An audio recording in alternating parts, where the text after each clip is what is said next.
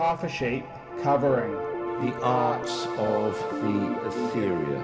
The etherea. From these two tarot decks, I extracted these two cards, and yesterday was April the 1st, April Fool's Day. So I went on a bit of a journey yesterday. Now, here in the Southern Hemisphere in Sydney, uh, it's it's autumn time. So here we have, as far as the northern hemisphere goes, we have springtime, new beginnings, new life, uh, etc. And we have the uh, bag right here, and we'll just go to another image right now, and you can see the interesting configuration of the bag right there. In a way, a kind of reminder here of the grapes over here, the seeds, and uh, all the rest of it. So, new growth new start to the year. Uh, it, it, happens around this time, so basically, in a way, the the month of March is the start of the year also, but uh, uh, April as well. Around this time, this is the time of spring in the northern hemisphere, as I've said, and you can go back and look at the you know notions of old calendars and changing of calendars and these sorts of thing. And of course, you can look through the year, and you've got October eight, November, November nine, December ten, and and all that sort of stuff. September uh, seven. But anyway, so uh, what we'll do now is go to the footage from Sydney and I'll put just a little bit of supporting image with this. Here in Sydney, Australia, on the corner of Bligh Street and Hunter Street, we have this pillar here and we have a monument behind it.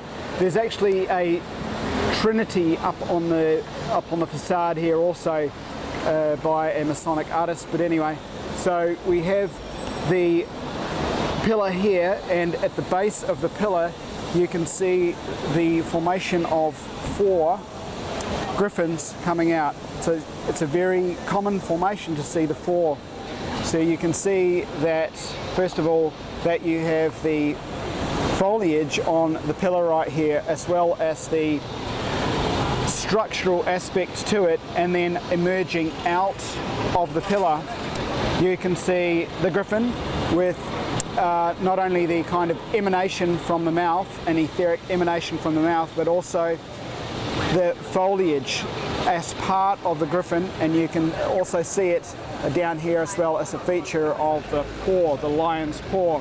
If we look inside a church for a moment, inside churches you can see the, the, the pole there with the uh, lion's feet coming out at the bottom and the, uh, the eagle atop it so right here you have the combination of the wing and the lion's paw again on this.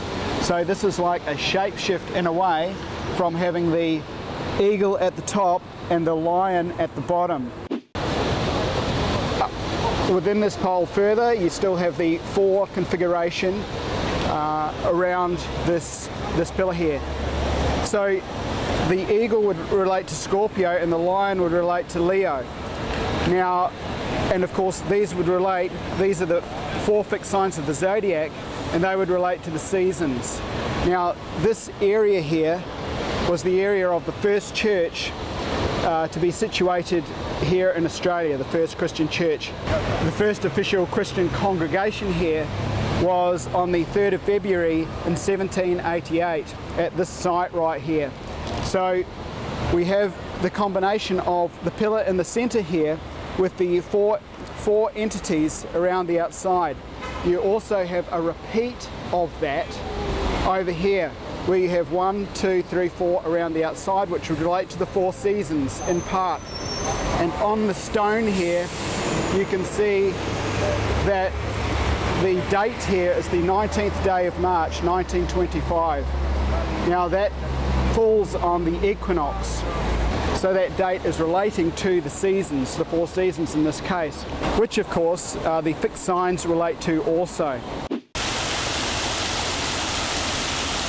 Just briefly, here in the Archibald Fountain here in Sydney, in this case you have the tortoise and over here you have the fish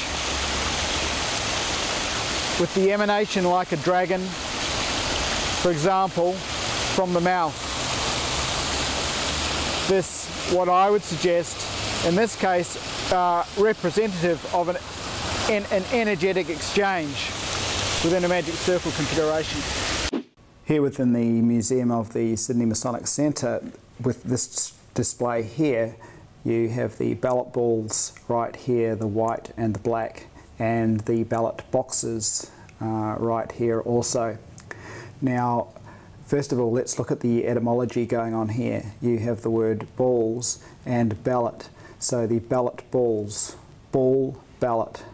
And then also within the word ballot, you have lot, uh, lottery, lotto, the balls here perhaps reminding us of the lotteries and uh, lotto, that sort of thing. Now, further within here, uh, we can read used in a secret ballot for membership, white means yes, black means no. Usually two or more black balls rejects the candidate. Now, interestingly, uh, within Masonry, I suspect th suspected this before I even sort of registered that it was written, and I'll try and find the quote because uh, I'm ad libbing here, but uh, and this this is also ad libbing regarding the etymology right here. But so with the um, with masonry, another notion is that with the higher up masons who have more of a clairvoyant view of the situation, I also suspect that yes, this is part of how various orders may uptake masons coming up through the rank and this regards their light body, if you will, and a reading of it. We're now up on the third floor and just another view of the lights down here. You've got the two Jachin Boaz pillars right here.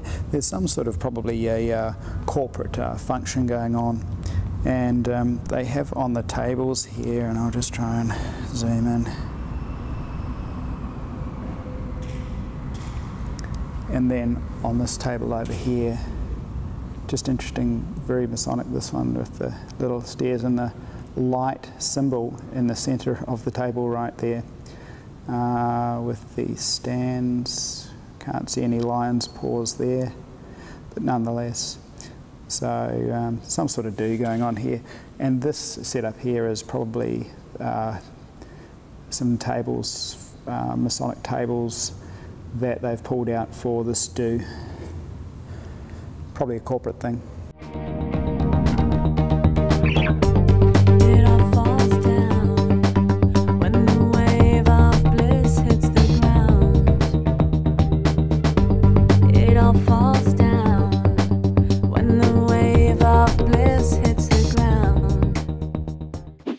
Conclude the journey of April Fool's Day, I had beers in the Civic Hotel, which is right next door to the Sydney Masonic Centre on Goulburn Street.